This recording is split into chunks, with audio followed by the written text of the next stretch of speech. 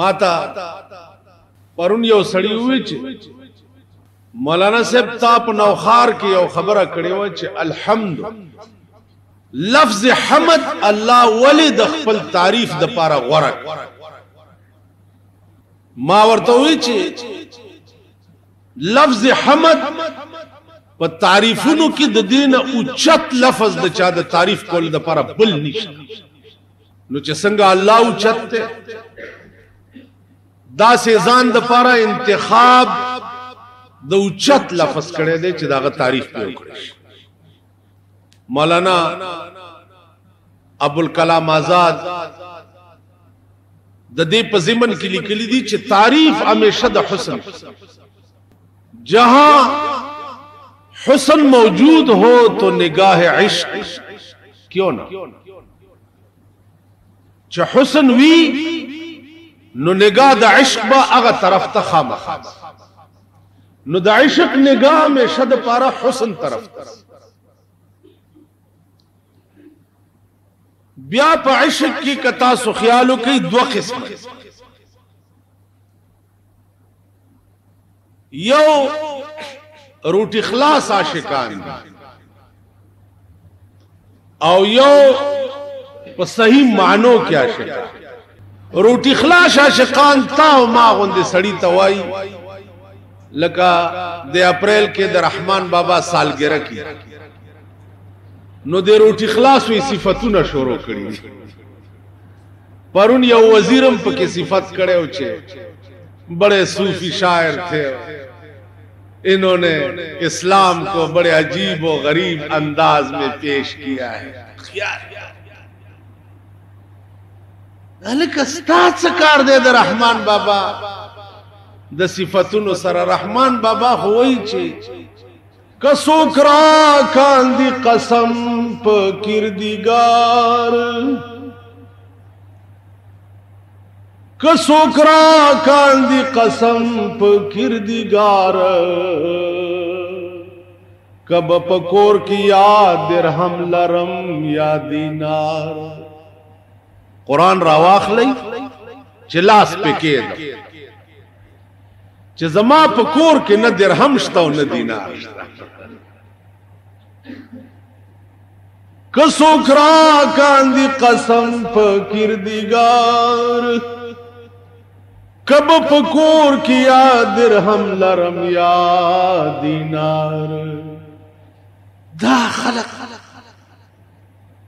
د دې اهل نه دي بالکل چې د رحمان بابا په سالګرو کې خبرې وکي یا داغه تصوف او داغه درویشی خلق ته پیش همیشه د پاره شان دا غدي هغه سړی پیش کوي چې په روپۍ کې یو ټیډي پیسې خو په غلار ته نه یو ټیډي اپ صحیح مانو کې عاشق په صحیح مانو نو هغه عاشق مونږه اسی کو سډبي روټي خلاص کیږي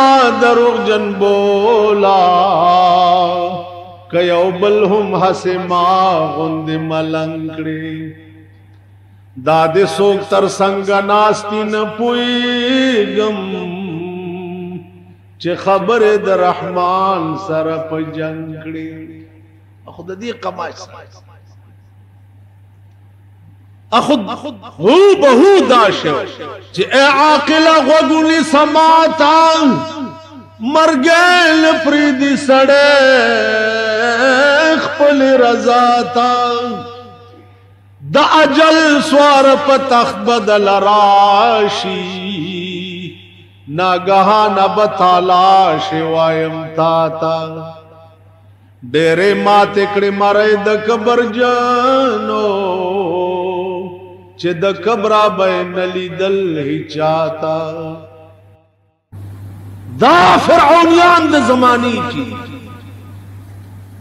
اب دوی توی چې د اجل سوار په تخت بدل راشي ناګهانه بتالا شوایم تا تا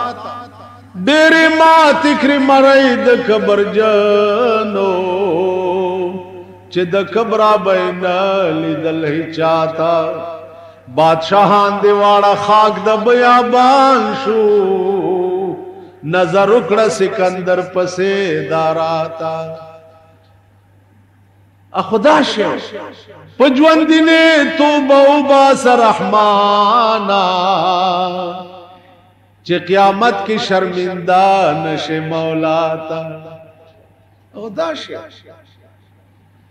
نو اے مونږ هم د دې قابل یو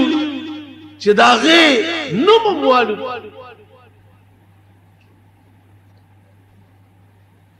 دنیا مسلمانه دنیا کې درې سړي کې مولانا روم ډاکټر اقبال او رحمان اقبال ولی په اسمان کې ګرځي ځکه چې په عزتمن قوم کې پیدا مولانا روم ولی اسمان سره خبرې کوي ځکه چې عزتمن قوم کې پیدا و رحمان بابا ولی قبر د چرسیانو ډیپو دی ځکه چې په بیزه تا قوم کې پیدا پښتون هم لا دنیا کې څه قوم دا زمونږ مشران وای مینګه پښتانه مینګه مینګه پښتانه زه مینګه پښتانه مونږ پښتون سی پښتون خو ټول عمر په پردو غلو غړي پښتون پښتون خو خالد ابن ولید چې دا پښتانه داغه د اولاد داوا کوي خدای دې هغه په مونږ نه شرمای مونږ داغه اولاد چرته د خالد ابن ولید په بدن یو انچای زیاده سه نو چا د تورو د غشو نه نه وته او چې مړ کېده په خپل کټ کې نو خدای ته وی چې یا الله په بدن مې یو انچای زیاده جوړ نشتا ټول د تورو د غشو نه وته نو خدای پاغه کې دې مړ نه کما او چې وجنه نو دا د بغیرتای په مرګ مې اوس وجه کټ پوزي کې هو بغیرت مړ کی خالد ابن ولید خو هغه شو پښتانه په څه کې مري لګي په دې علاقې کې دریم سلورم کیس ته لګیا دی په ودونو کې چې ډزې کیږي سړی پکې مري او شرمې دلو دا کلاشنکوپ هم دغه لاغستی دي چې په پردي واده کې به دزه کوي او پردي بچي او ماشومان به وج نه یو څوک به درته سوي نه جی الا ګولا وجي واده کې ولګي الا ګولا وجي واده کې ولګي تم وایا بلم وایا بلم وایا پردای مورې بورا کړه پردای خزه کونډه کړه او هاي هاي خیر دی واده واده کې دا کار کیږي ولې دا ملک تاسو په کپره مور شه خبره مې دې پورې کولا چې یو صحیح مانو کې عاشقان وي او یو روټي خلاص عاشقان نو ما ته وی چې د موجوده حکومت ته بد ولې وای مالدار او تخلاص عاشقان کدا د عالمگیر بادشاہ غوندې بادشاہي د ده اول سره به زه وای چې په تسپو به ما د دم مدې ویلې اول سره فتاوی عالمگیری علما ولا جوړ کړه او د ټول ملک نظام په دې یو فتاوا باندې بچلې د ټول ملک د عالمگیر بادشاہ غوندې بادشاہي خو په فتاوی عالمگیری چلې دی شو او پاکستان په فتاوی عالمگیری نشي چلې دی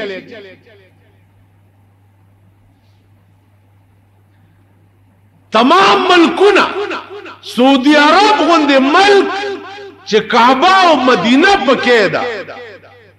اخو په فتاوی علمگیری او په قران او حدیث چلی دی شي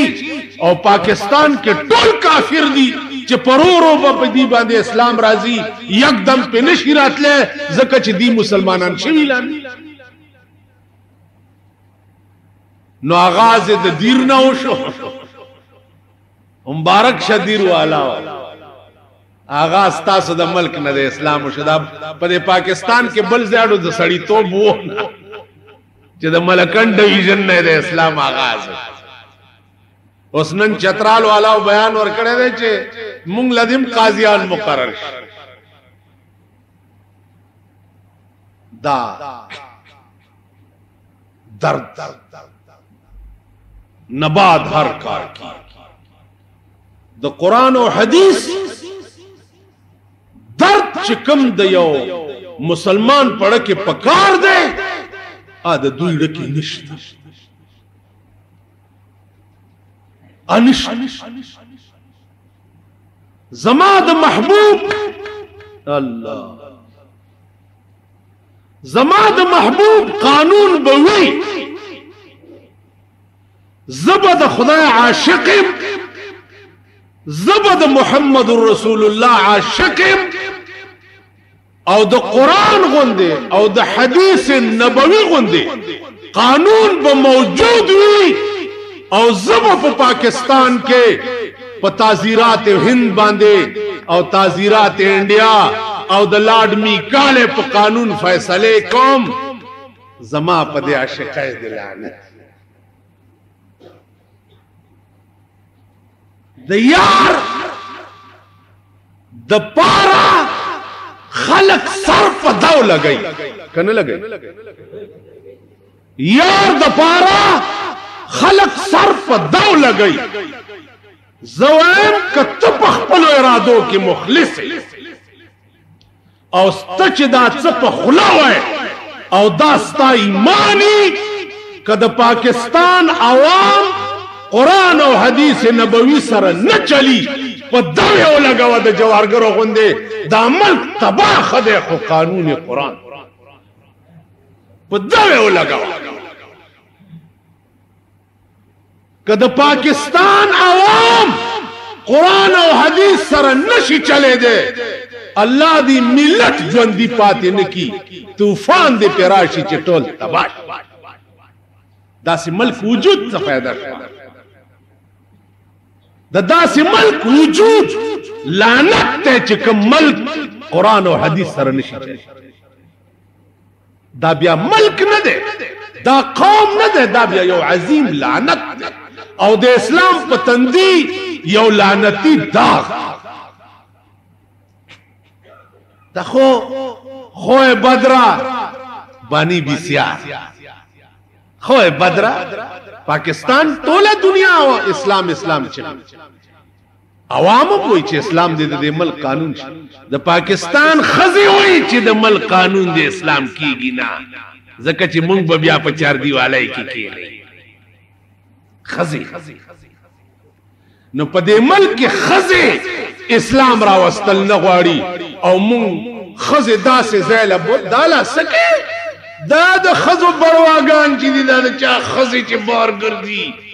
دا د خزو ټټوان و اسلام کې جلباب لفظ چې راغلی دی نو صادر ته مراد دی دا اوسنی چې کوم صادر خزه په سره وې دا جلباب نه که صادر مراد والے ولا یبدینا زینتهن الا لبعولتهن چې قران ویلي دي دې سره بس چل کې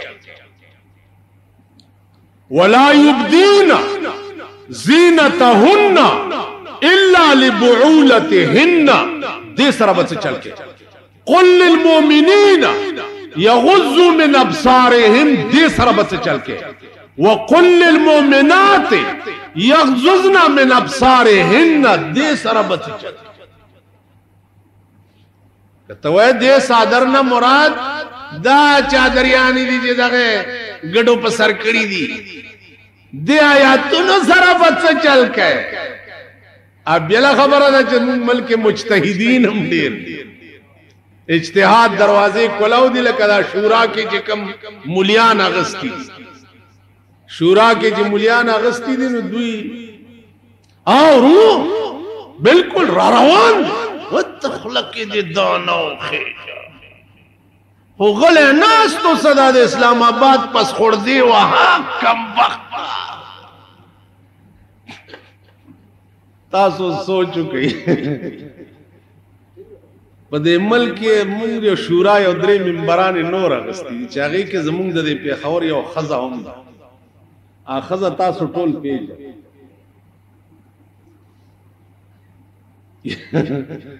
یعنی پاکستان کې اسلام راتله دغه خزه ته پاتې دا به پندای تزی اول ته به اسلام آغاز یو شرم نه دی چې مونږ به شرمېږو یو شرم ارو خدای قدرت چې الله د سړی په کمیش د سکار د لاس کیږي چې په شرمي چې الله په کمیش عزیزانو عرض مې داو چې دار سبکی او ما ته یره بل دا یره را تدادا چې په کومه زمانہ کې چې دین سره ټوکې شروع شوي دین سره لوبې شروع شوي دي دین خلکو شاته غرزولې ده نو آسمانی آفت پر راغله ایران کې ولې په زرګونو خلک کې مشو ولې کې مشو د خمیني په شکل کې په باندې طوفان ولې راغی او زرګونه خلک یې کېمه ولې کړه ځکه چې دین نه باغیان ایران هغه غل په سر تپل چې یورپ یې شاته کړی امریکا یې شاته کړی و د ایران خزو هغه لباس که سوکتلی یې نو درته به معلوم نو عذاب پراغه د چا په بادشاہي کې چیو اغلا بیا زمکه زین ور کولو زمکه زین ور سګور الک ماسل نشتا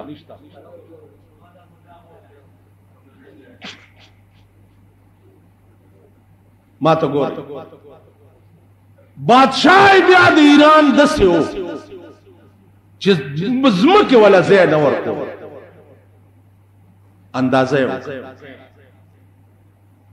عزیزان عرب ملکونه زتله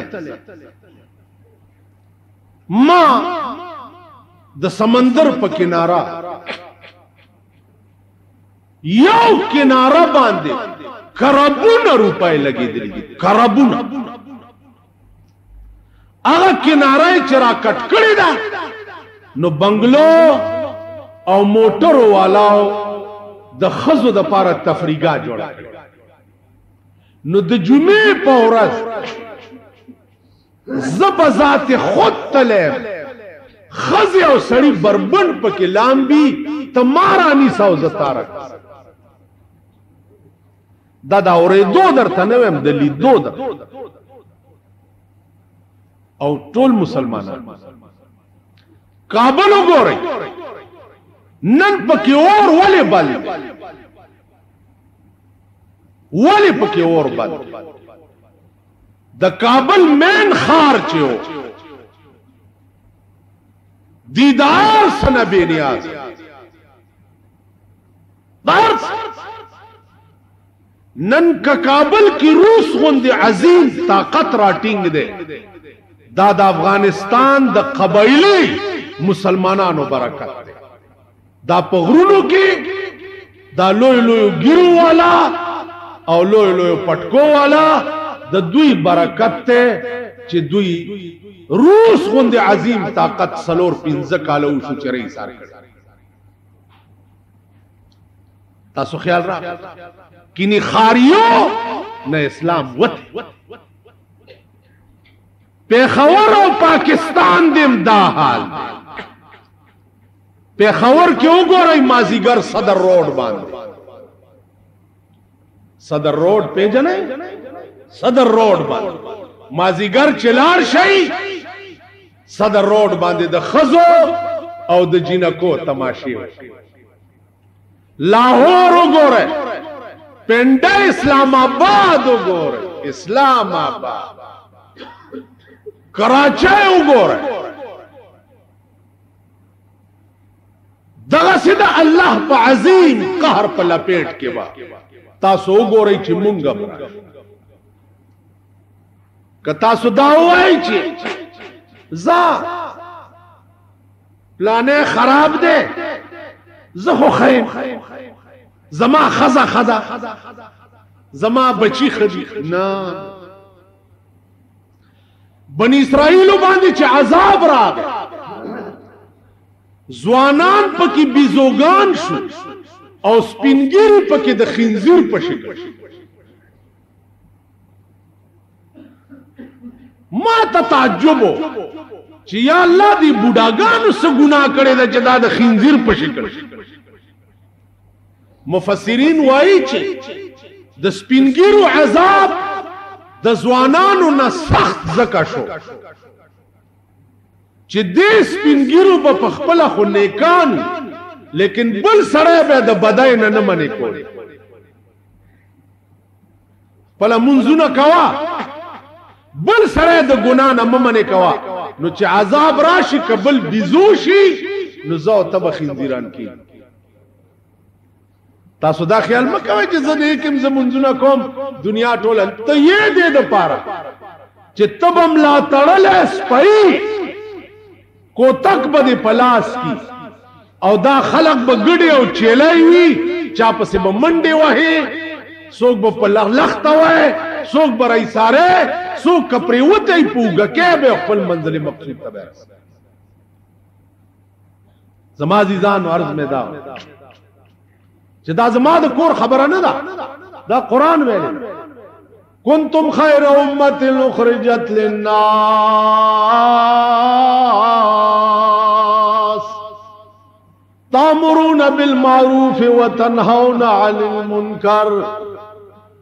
الله وی تاسو پیدا دي د پاره یی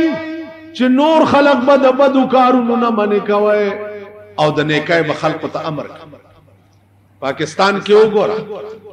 د شپې په یو بجا کابلای سره ودرېګا او تماشا وکا د سړو نه خزي ډېرې روزي د سینما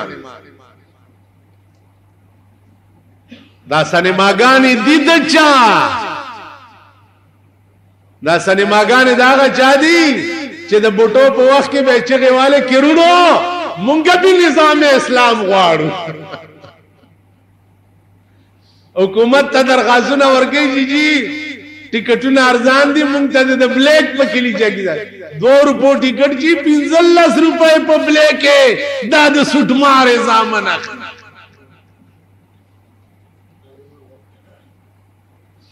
په 15 روپۍ په بلیکونو یې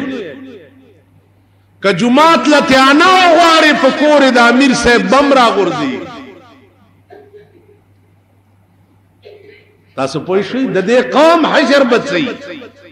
د دې قوم انجام بچي نو عرض مې دا عزیزان چې بره طرف نه دا توقع مکوا چې د مل قانون به دوی رښتیا اسلام نه امید نشته ما ته یقین نشته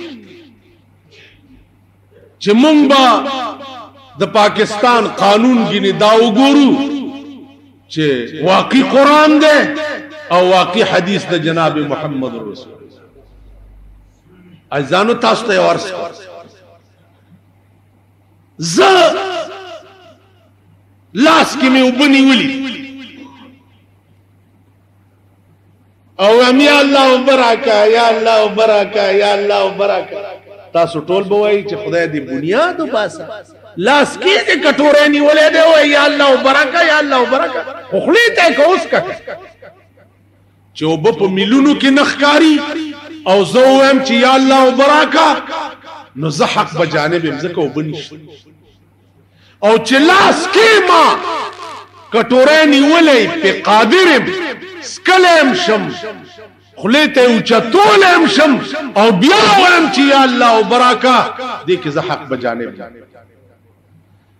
عزیزانو که د پاکستان عوام وای چی یا الله د ملک قانون قران کا حدیث کا شریعت محمدی کا نو حق بجانب لیکن که د پاکستان بر سر اقتدار تب کوئی چی یا اللہ ملک میں قانون اسلام کا کر دے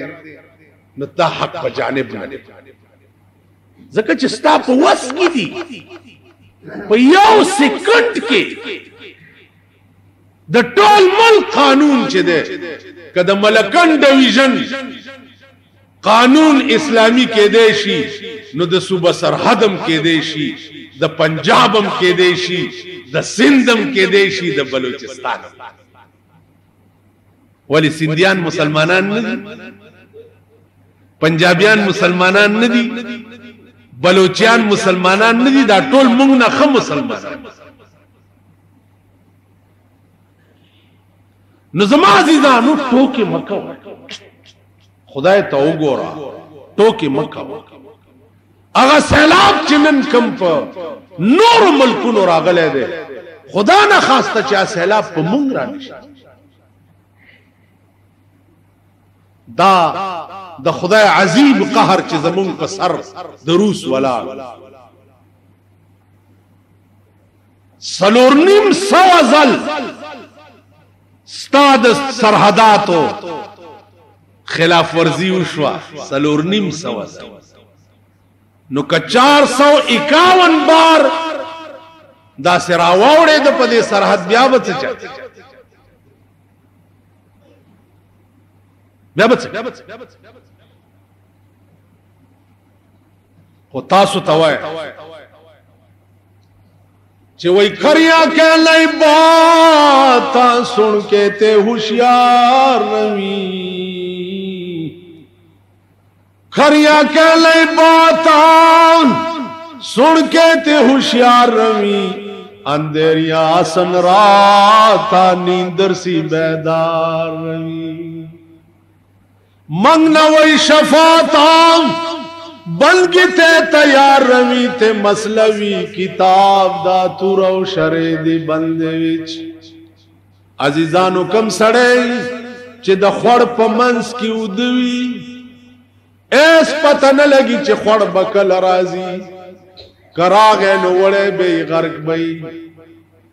کم سړی چې د خړ په کناره باندې وي او وی خموي هغه چرم خور نشي وړه نو موږ د خور په منځ کې یو او دم یو کوبت خدا تاسو ته داغي مشیران او ایڈوایزران مغه خلق دی چې د چا د لاسا بټو غرق شوه د چا د لاسا یحیی خان غرق شوه د چا د لاسا ایوب خان غرق شوه دی او ماغه چندال چوکړی ته نګیر چا پیر دی او خدای دې دتم خیر تاسو پوه شوي په خبره باندې ارز مې داو تاسو ته وای چې څو پورې زمونږ او د حکومت تعلق دی اسلامی نظام د پاره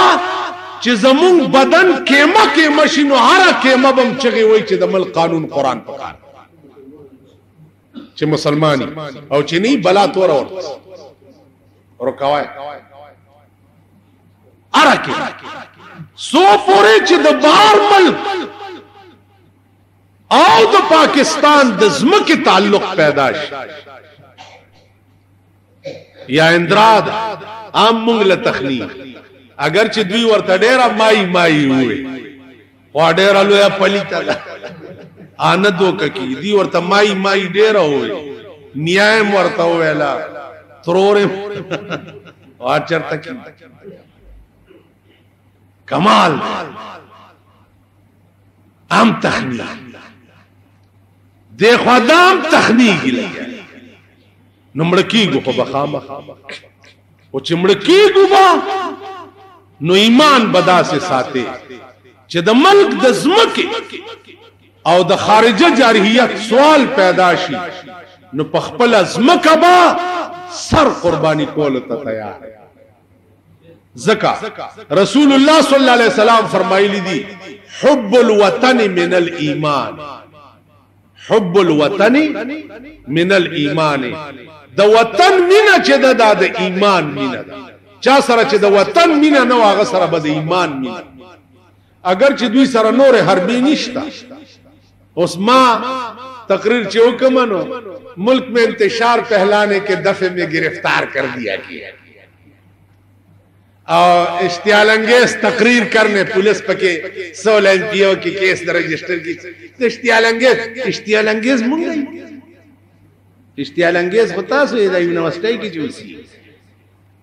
اشتعال انګیز خو ته چې 1800 دی تنخواه ده او 18000 دی په خزه خرج دی دا امبر سرای میخه دی چې ساتلی ده 18000 په هغه خرج دی دا نور ورته کم ځای نه پیدا کې اشتعال انګیز خو تاسو یې او ګن کپانو او د ملک غدارانو د ملک دشمنانو زه اشتعال انګیزی مچ تر نن ورځې پورې وظیفه او سړې روټه خرمو په باندې وخت روم زه اشتعال انګیزی جلنګیز خو تاسو په یو پتلونګي کې راشي چې بیا نوکرای نه زی درې ورځې سامانونه پټرکونو کې چلی مونږ اشتیا لنګي په شپېته کاله په خبر کې دی یو کور نه دویم کور نه دی پیدا کړی مونږ آ کورم ټیکس والا اور پسې زی او راځي هر کاله بدا جی هر کاله به تاسو درخواست کوئ معافي د پر خدای تاسو تباہ او برباد چا سره چې ټیکسونه دی هغه سره هم کنیکشن چنګول یو کور په دې تیمر غړې کې کوډلې دي پاغیا تا ته 100 روپے ټیکسونه لګي نو موږ نه دا ټیکس دې دې می خود پاره 14 کر 14 ارب روپے سالانه د خزو خرج دی خز 11 ارب روپے سالانه د سیګریټو خرج خدای چې څومره کروڑه روپۍ سالانه د بیهوده ډزو خرج دا کارتوسونه چي ملک خو دغه تباش غریب نه ټیکس په چونګي باندې صاحب کا چرګوټه تیرن درته ګر کپان کینول دا د چونګي ګر کپ دا ټیکې چا سره دي وګورئ عرب پتیانو سره د چونګي ټیکا عرب پتیان چرګوټه تیرې بډای را روان کړي چې ګوړ او چای می نشتا دا چرګوټه خرڅوم چې ګوړ او چای پیوالم اغه لم دا ګر کپان او بدمعشانه په دې سرکونو درولې دي او دا غینم ټیکس سما غونډګردي شورو ده سه بدمعشي ده غونډګان دي بس کوته کې ورته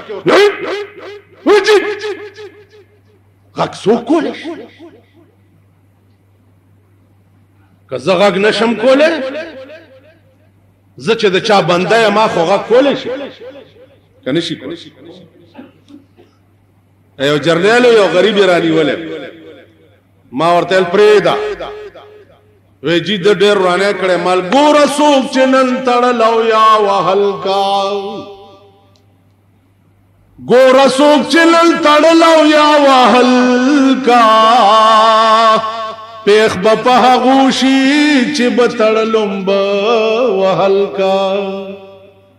که نن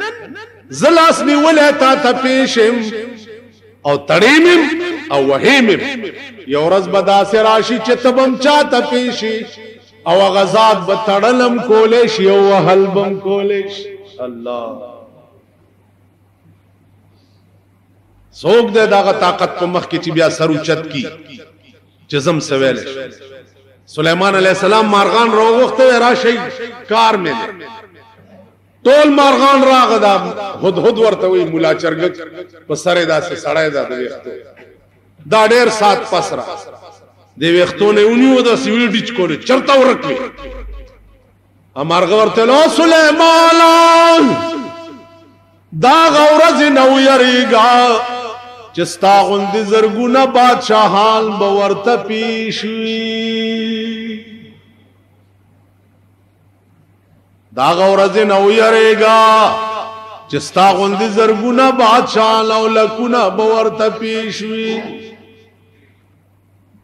زما خو دې وران کو داسې دا وخت دې ما نه راخ ک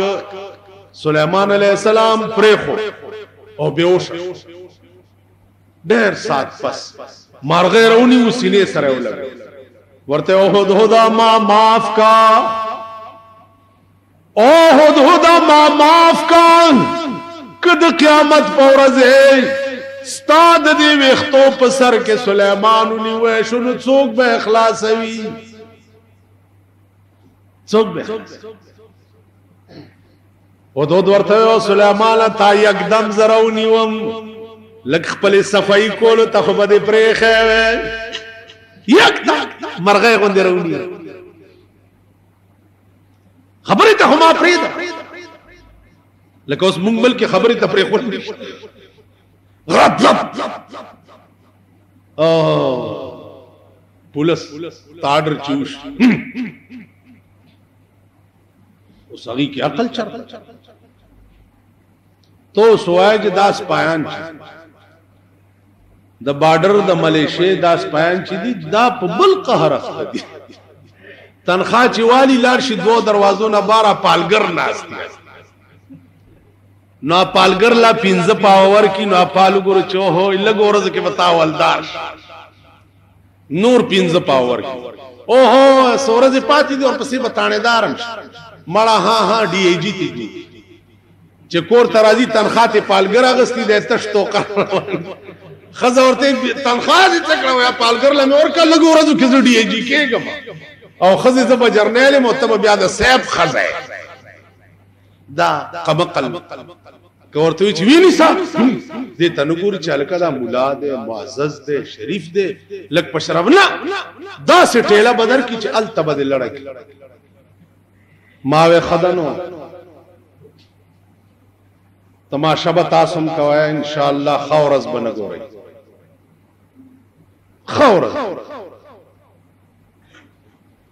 کم سړی کې چې د انسانیت ماده نه و د شرافت ماده نه و کم سړی کې چې اخلاق نه و هغه ټول عمر تیر شي په خاورس په تیړون شي خاورز ورته نه نسی خاورز خو اخلاق پسې ګرځي خاورز خو شرافت پسې ګرځي خاورز خو انسانیت پسې ګرځي تاسو پوه شئ نو عزم داو چې یو ورځ به زه ستا جواب نشم کولای زه تا ته څه نشم ویلې زما شاته چې کوم طاقت ته اخو ویلې شي دسې به دې رونی سي چې نیست نابود په دې پاکستان کې یو افسر را سره لاندې وته مالې وي ماته وي وې زما لاس قدر ته ولګېدو ټول عمر بروټای خواندر نکي ما ورته ستا لاس ویلو مال زما د خپل تیار شکن توپه ده که په دې ولګي دې په هوا کې به دې مارغان غوخي وې زبتا سره ګورم مال په آرام کې نه ما سره د لیدو په ارمان ډېر سره وکړي پاکستان اووه دېرش کاله وشي ومې لیده راله اسمان ته وخته سر د لاندې راوغورځېده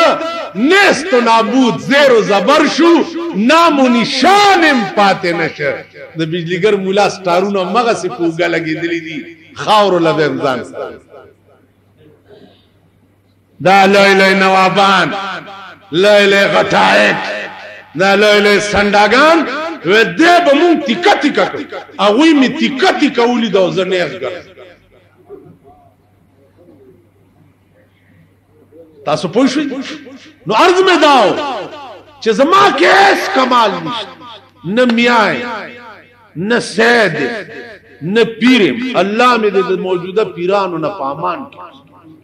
دا د جیبونو ګڼ کپان دا ځان ته خلق په سجدو اچون کی په تور بلا واله په مزدورای دي چې کومې پیسې ګټلې دي کم بخت خزه او بچي چې د چا رزق پتا فرض دی اغیله نه وړي او دی روټي خلاص لا ته خدای په قهر وا سبلا وا دلته یو دی قسم په خدای دی 19 لاک روپۍ داغه په فکس ډیپازټ کې پرتی دي د سود په کاته خلک ورته سجدیم لګي لاسونه هم سپي 19 لاک دغه ګړ کپتوب نه دی الله ما اوس نه میا میاګان میاګان میاګان پکې لا چاره اوس وای خدای ته وګوره دلته یو وی چې زه د ګردی غوس نو سم ما ورته چې ګورم ګردی غوس یو خسړې او نیک سړې تیر شوی او زه د آدم علی السلام وسه نو آدم علی السلام پیغمبر او زه دا غن وسم نو میتان زما رتبه او چته ده ته دا سي خسړین وسه او زه پیغمبر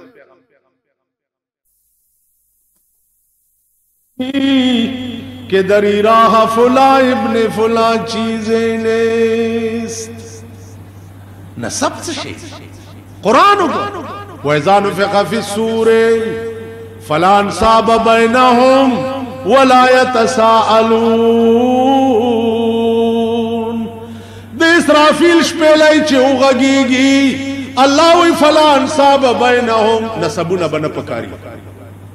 او نه به د نسب متعلق سوال کیږي چې ته د چا زوی وې ار سړی له خپل خپل پندو کې پسروي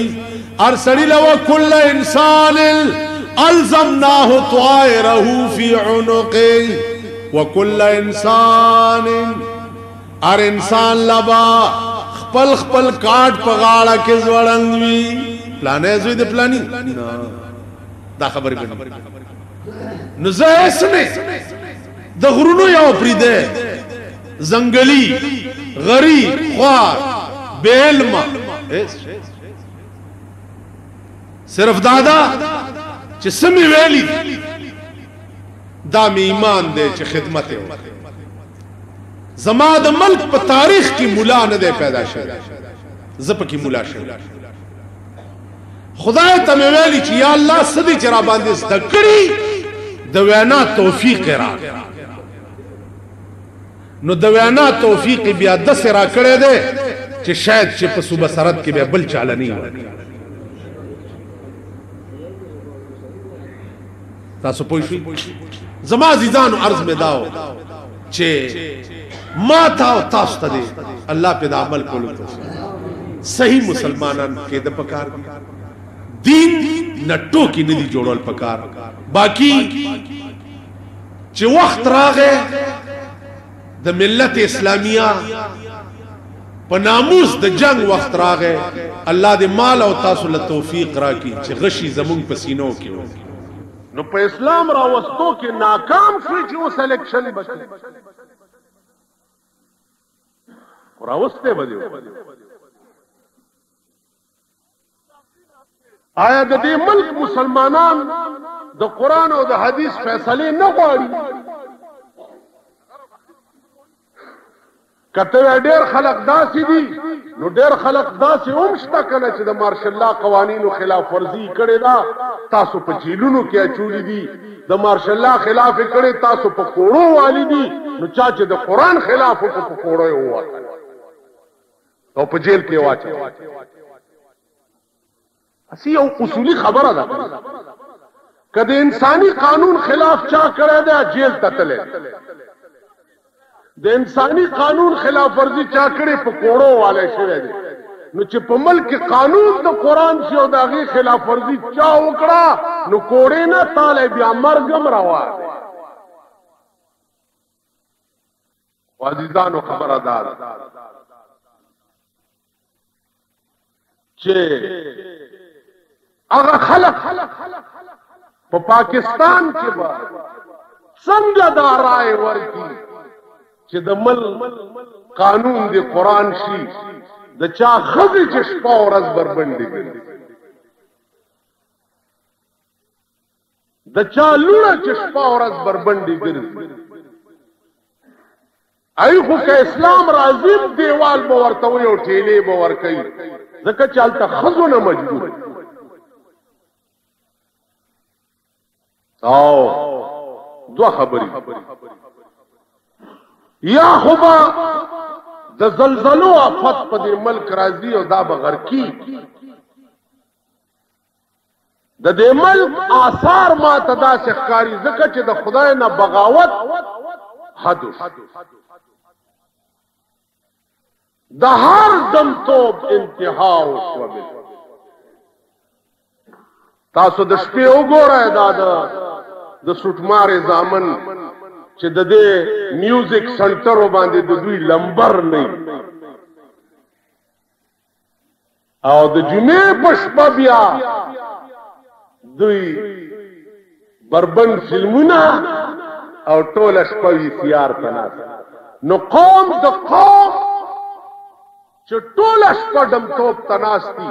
د خدای قهر چې راشي قوم د قوم به ټول تبا کی څوک وی سی آرونو ته ناس امریکا چی خپه کیږی په هیروین باندی نو څه زور هم ورپسی لګولی دی رانیسی یی چی هله دا خراب شی او جناب محمد رسول الله چی په میوزیک سنټرو خپه کیږی په هغی هم یو ورځ هم چاپه وانه چوله او روم نه نیوله. خدای چې په کم دمتوب او کنجرتوب خپکیږي هم اډورونی نیوه چې ستاسو په اختیار کې دي او امریکا چې په څه شي خپکیږي هغه د پارم څه ډور دوک شروع کړي دغه هم خدای ګوري د دې تپوس بم کیږي چې زما نوم چې څه شي تاسو وګورئ په دې رادیوګانو او ټلویزیونونو کې تبلیغ بغږیږي او د خدای او د رسول نوم به ور سره رسي دوپړو باجو سره خدای دې دا خلق په ښه ورځ پسې ړانده کړي چې ډمه نه شي راوستی، قواليان به راولي وایي به دا سوچه څیزونه وایي، په دې ښار کې ورته وایي چې اې سوچیان چیزان کهنګه سوچیان چیزان کهنګه دا د مشرک بچي.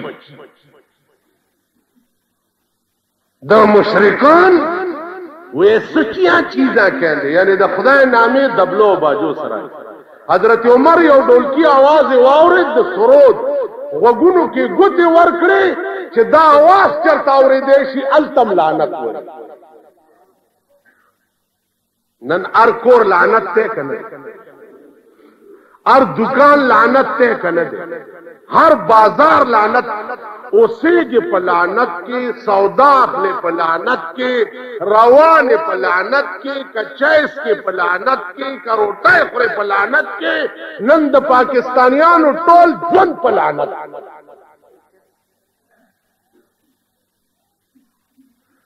ټول معاش زندگی دی لعنت دی او پلیته دی خزه ده نو چې خزه ته ګورې نو ګورم لعنت او چې دغه نه څوک پیدا شي عام لعنتی حرامي ا بیا ګرځه په مسلم پبلک سکول مسلم کانوینټ سکول پلانې سکول پلانې سکول لکه هغه ورځ مې خپل عزیزانو ته ما لکه تاسو خو دغه وی چې دا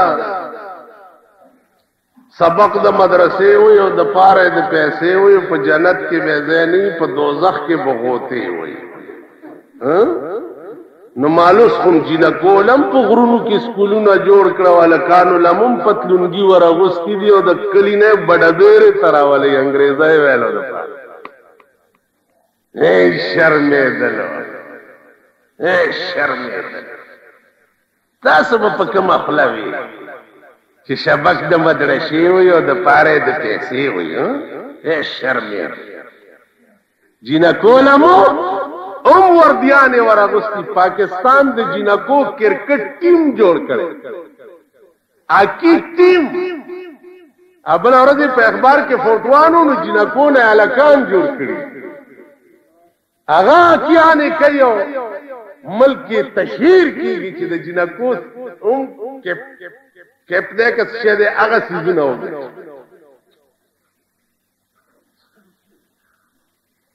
تاسو خیال راغی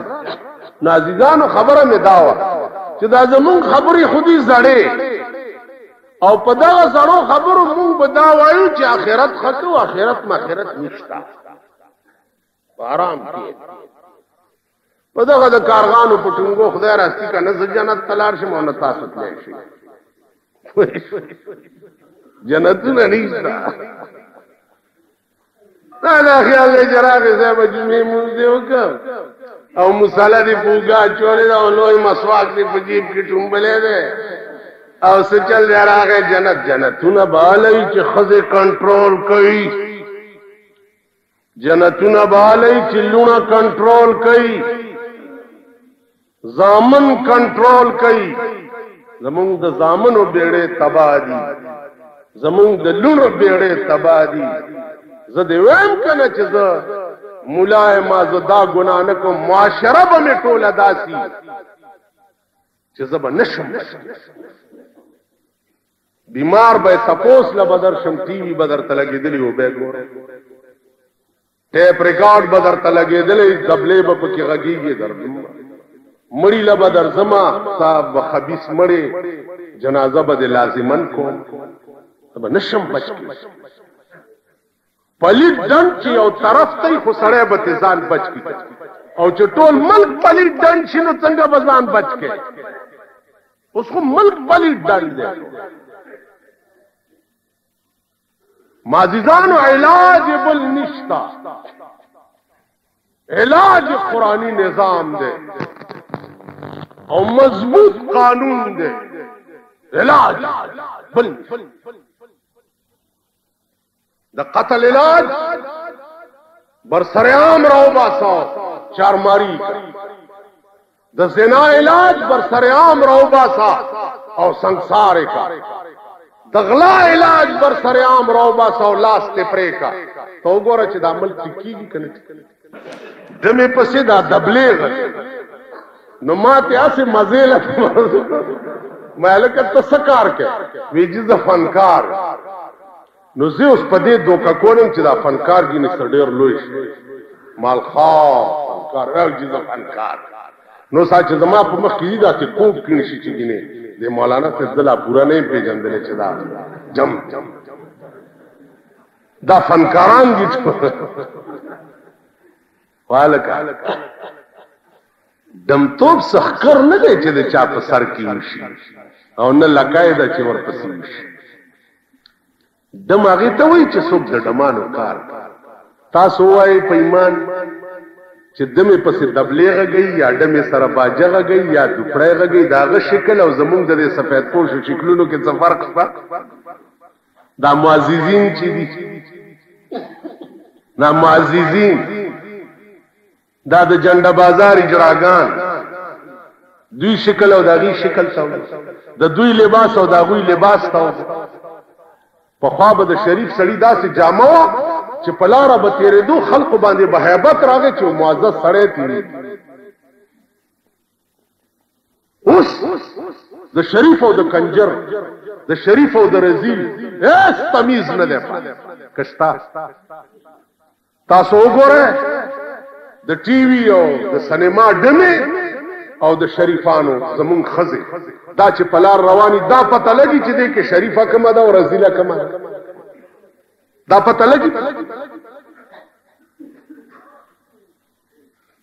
نو عزیزانو عرض مې داو چې پلیت ډن یو طرف دی خو سړی به ځان بچ او چې ټول نظام پلیت ځان به کم ځای بچ معاشره ټوله پلیته زما ورونو خبره مې دې پورې کوله چې یو دعا ما په شپږ میاشتې کې زده کړې تا په شپږ منټه نه دی لګول نو تبا نلله الصمد الرحمن الرحیم باندې څه پوښ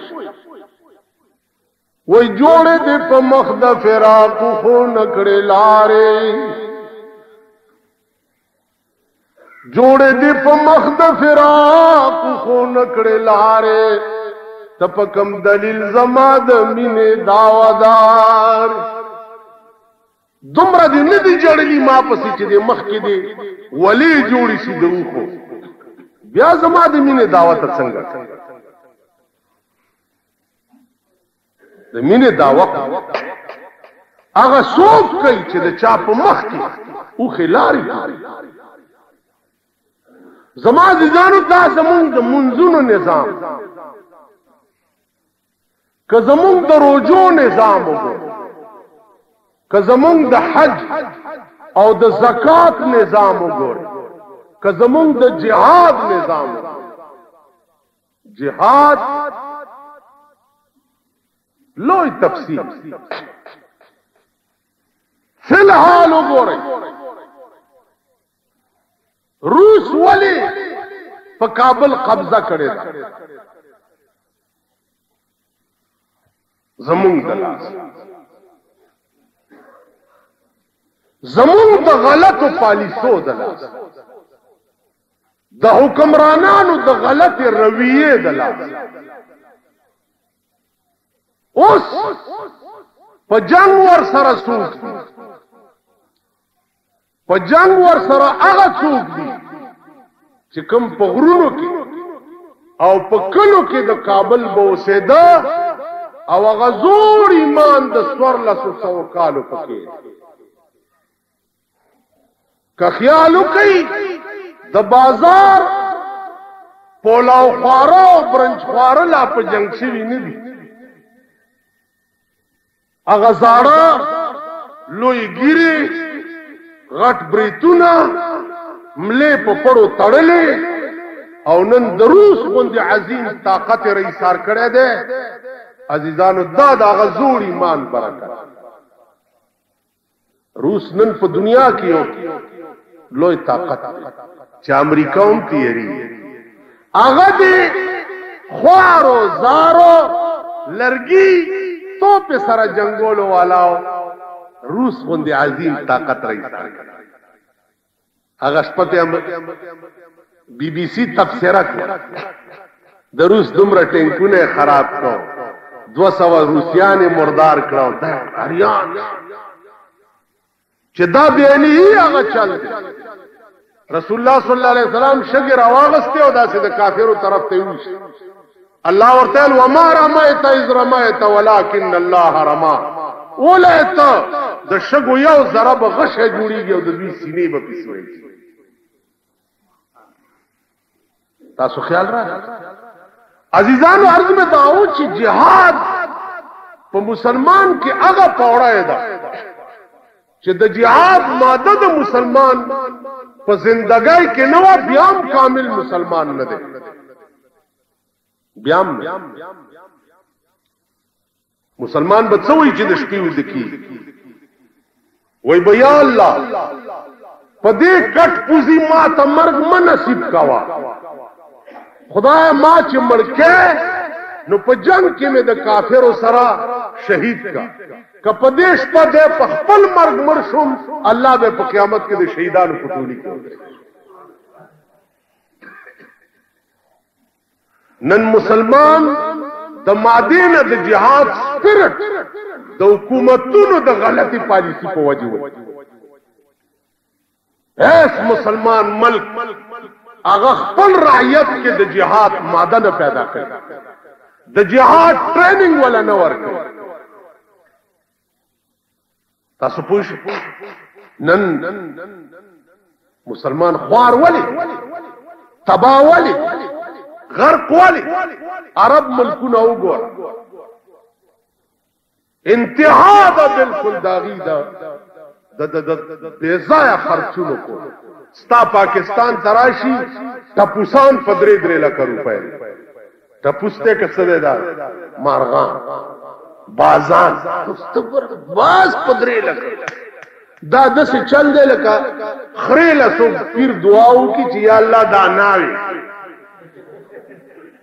دا خره ناوې او بنارسۍ پې واچي او لاندې تې خرئ اوس باز یو مردار جانور دی په باز یعنی یو سړی ما ته قسم وخوړو چې یو باز ما درې ځله خرڅ کړي تله دې په درې لک روپې التنه بیا را تختیدلې دې بیا دې مالک ترا دې بیا په درې لک خرڅ کړي بیا راغله بیا په درې لک خرڅ کړي یعنی درې درې لک روپې په یو مال په درې لک روپې د درې روسیانو سینه سورې کی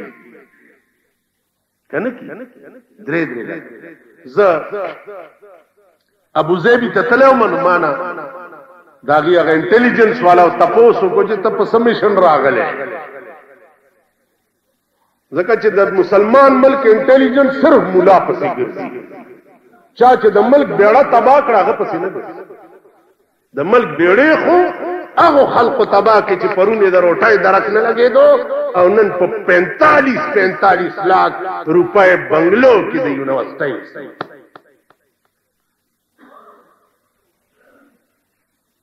د ملک بیړې هغه مولا مولا څه کړي خدای دې په تڼاک وسنګره که مولا څه کړي ملا خو دا ملک په اسلام آباد غواړي نو چې څوک ملک د اسلام آباد غواړي د خزو حیا او پرده غواړي هغه دی کیس رجسٹر کیس نه چې د 500 په ګورګورو مې وخېږي کنه والله کذب کوي چې زه دوی پرې نه په دغه خزو پسې به هم لګیایم په دې زامنو پسې به هم لګیایم په دا لونو پسې به هم لګیایم چې سو پورې دا خزې په کورونو کې کینولې او هر حال میں حق بات کہیں گے ممبر نہ صحیح بر سر دار کہیں گے زه خو یو سړی یم یو ورځ به مړ کېږم او مړ به هم داسې شم چې حق مې په خوله کې او مرګ راله راشي دا مې خدای ته ویلي دي چې حق وایم او سارا نه وي ما د پاره مرګ مقدر دی زه به یو ورځ مړ کېږم استاسو دعا برکت دی چې څه مې په دې ړه راغلي دي والله که مې پرېښي دي ورډزوالي مې دي هر څه چې کېږي بیا به زما عزیزانو سوچ وکړئ دا خبرې ګورې د ټوکو نه دي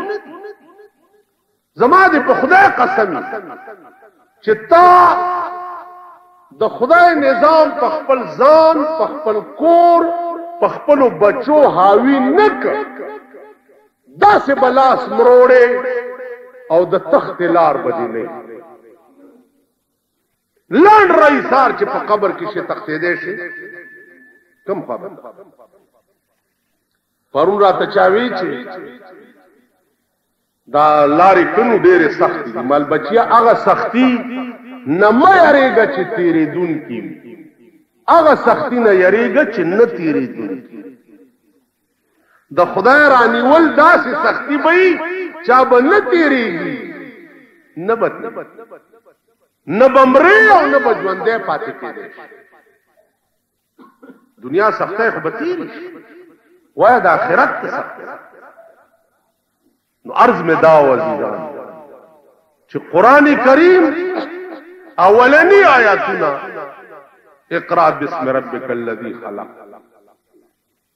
چې په رسول الله صلی الله علیه وسلم باندې نازلېدل شروع شو. تاسو ټولو ته په ورورولۍ اپیل کوم، په ورورولۍ، به حیثیت ستاسو د یو کشر. جوماتونو کې هم امامان شته، طالبان شته، علما شته، ماسخوتني که سهار لمانځه نه وروسته وي، وخت وله برابر کړئ او دا لمونځونه صحیح کړئ.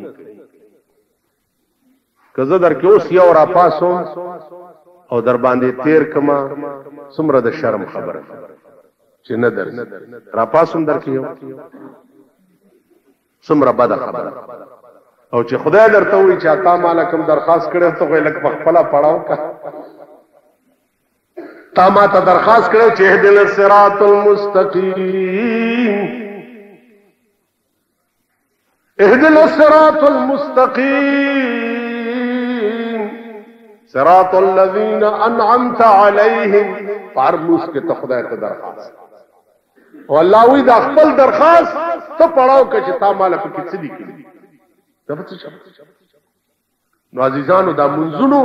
الفاظ صحیح الفاظ بیا معنا از د کول شروع کړي یو سبحان معنا درته زوس کول شم ټول نور خبرې ډېری هغه مشکله سبحانك اللهم دا سبحانك اللهم په اصل کې سبحانك یا الله دا اوس عربي قانون دی سبحانك ورپسې یا الله قانون د عربیت دا دی چې یا الله نه یې لری شو او د يې په بدل کې ميم راوړی شو په اخر کې خو هغه ميم چې کوم مشدد دی يعنې شد والا ميم يو زور دی يو زير دی يو پيښ دی يو غړوندی دی يو شد دی شد هغه درې خونګو والا مشدد دې ته وايي. نو یې لرې شو او د یې په بدل کې میم راوړی شو خو میم مشدد نو سبحانك یا الله نا څه شي جوړ سبحانك اللهم دا ولی فائدہ یې څه فائدہ یې دا سبحانك یا الله پاکی د تعالی را اے خدا پاکی د تعالی را اے خدا عزیزان یو بل ټی باندې جب عادت چوزګار فلار روانه سبحان الله سبحان الله سبحان الله دا خپل وظیفه جوړه کړي ډېرو عذابونو نه به بچ ډېرو مصیبتونو نه به بچ ډېرو غي دا خوله کې چې زمونږ سپی ناست او ټوله ورځ غاب سپی پکې ناست دې خلکو دې خولو ته ګوره سپي پکې ناست غپه غپه غپه چې په لار روان شي لته مو تیزونه مچ سبا یعنی په دې سره که زه ګورم کنه دې خلکو چې خدا دې خوار او سم ساکه لکه دا خرچ په مستۍ راشي کنه لته مو تیزونه دا شرمې دې کوم لس پښتانه چې په لار رواني لګې تماشه وکړه لتی به وي ګیزونه به وي توپونه به وي ګنډېرو ګوتې به اغستې لکه د خره غوندې شخوند به وي څوک به کینو یو طرف ته کینا ودرېږه سپینګیری پکې وګوره صاحب او دس به مات کړی او پرتوک بغاغ به پلاس کې پلار برواني او دس به مچي یو دا نه بډاګان څه چل دی کاکا مونږ کوم جامې می پړې دي خو بس دینه پس پتا کې څه عقل راځي او تور ګیره می شو سپینا زه حیران یما تورا ګیره مې شوه سپینه زه حیران یم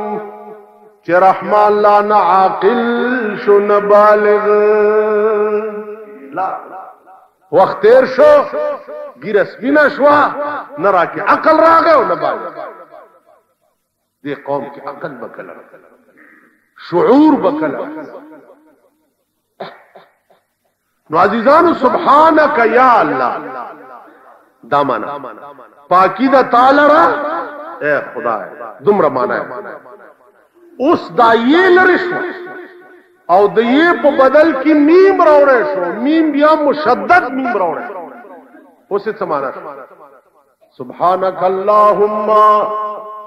پاکی د تعالی را اې د ټول صفاتونو مالک خدایا یې لري کې دو سر میم راتلو سره څومره فرق پرې شو کنه سبحانك يا الله پاکي د تعالی را خدای اوس پاکي د تعالی را اې د ټول صفاتونو مالک خدای ته به د خدای په یو یو صفت پسې چرته ګرځېدې؟ یو میم کې دا برکت دی چې د الله ټول صفتونه یې راجمع کړه ستا د خولې له راوړه. یو بزرګ ورپسې ویلي دي چې میمه د سترګې دې قربان شم د میم یو سترګی او یو خپای داسې نو لاندې شپه ده او پاسې ستن نیمه د خپې نه دي لوګی شما ماله دې اسان کړه د جانان سخت منزلونه او نیمه ستا خپې نه قربان شم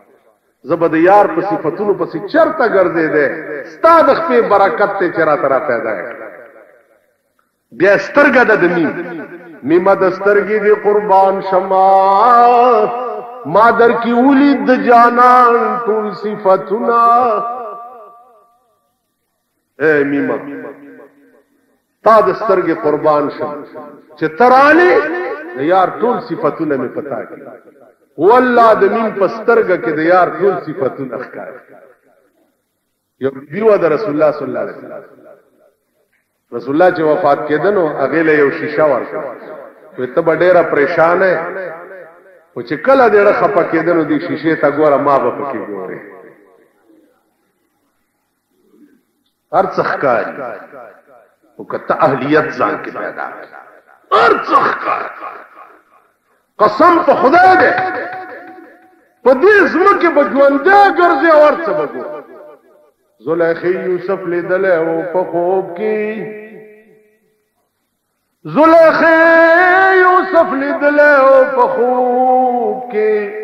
ما په وی خده لیدل په خواب نه دی زلیخی خو یوسف خوب کې لیدل او په عاشق شوی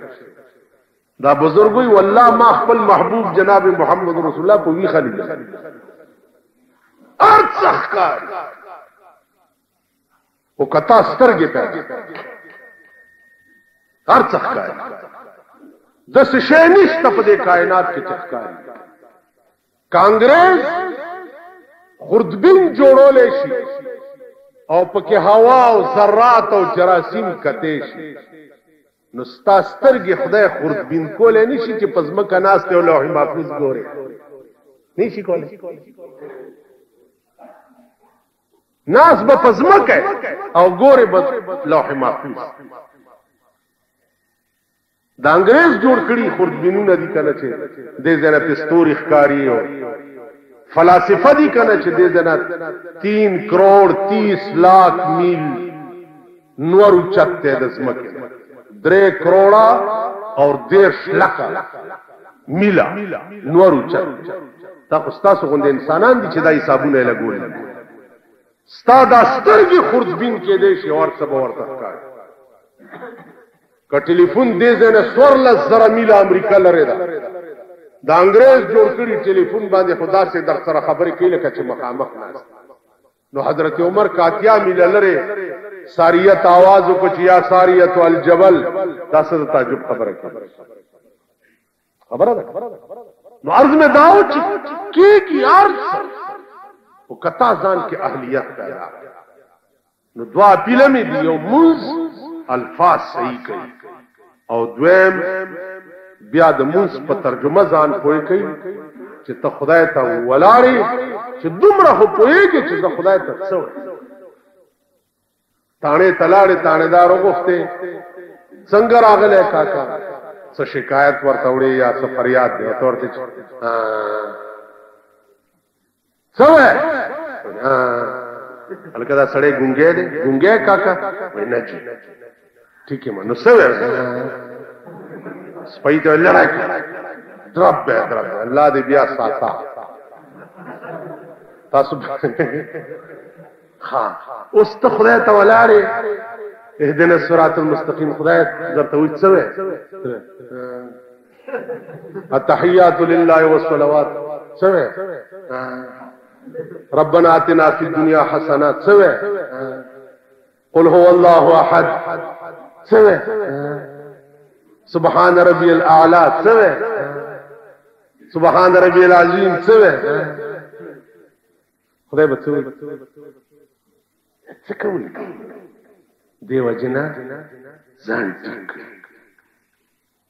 پوښتنې مکه نه الله الصمد ولې دی نه الله کمال راشه چې استاد دندان ماته مو کړ دې خله دی اوم چې دا غاپونه درمل ته